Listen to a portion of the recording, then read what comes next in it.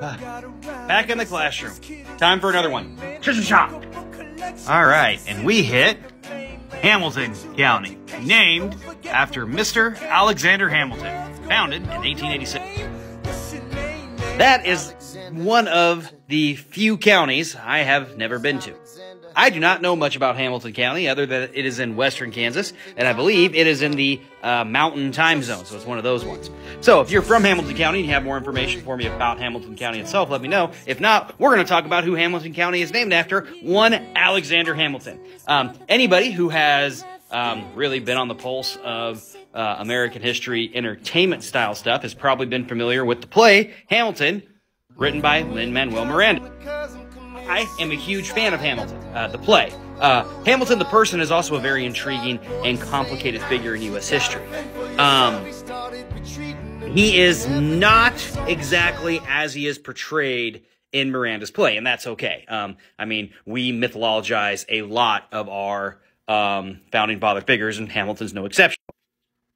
Hamilton is an illegitimate child. Uh, his mother and father were not married. His father actually leaves his young family at a very young age. Uh, his mother and brother both die from a sickness in the Caribbean. Um, and his cousin that he was living with actually uh, ends his own life um, instead of uh, because he's unable to pay his debts. Hamilton is able to because he's a very smart kid. He's able to make a living keeping books, uh, trading charters. He uh, eventually the whole town raises money to send him to New York to go to college, so he come back and be like someone important in in the Caribbean, and he, and he never goes back because he doesn't want to go back to the Caribbean.